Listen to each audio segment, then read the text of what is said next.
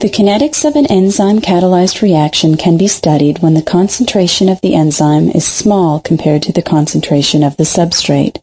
As long as the substrate is in large excess over enzyme, altering its concentration does not change the rate. This is quite different from the first order reaction in the previous example, where the rate depended on the substrate concentration.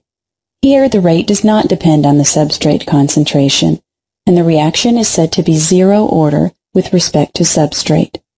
Near the turn of the 20th century, Adrian Brown first discovered this conflicting behavior of enzyme-catalyzed reactions. It became apparent to him that the substrate must form a complex with the enzyme. This observation marked the beginning of the study of enzyme kinetics.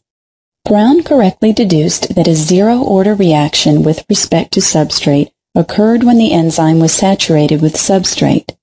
Essentially, the limited number of active sites put a ceiling on how fast the reaction could proceed. Because the enzyme concentration is rate limiting, the rate is independent of substrate concentration. The zero-order rate constant is referred to as the maximal velocity, or Vmax. Count for this kinetic behavior caused by the substrate's interaction with enzyme, the model for an enzyme-catalyzed reaction must include an enzyme-substrate complex, or ES complex. The reaction scheme is shown here. The rate constants K1 and K-1 are the forward and reverse rate constants for the formation of the ES complex, and K2 is the rate at which the ES complex converts the bound substrate into product. Notice that in order to simplify this model, we assume that the product formation step is irreversible. That is, there is no K minus 2.